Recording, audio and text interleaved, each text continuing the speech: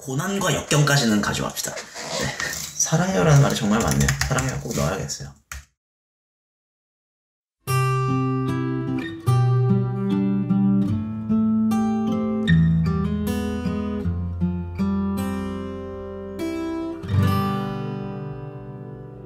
생일 축하해요 축하해요 당신의 생일을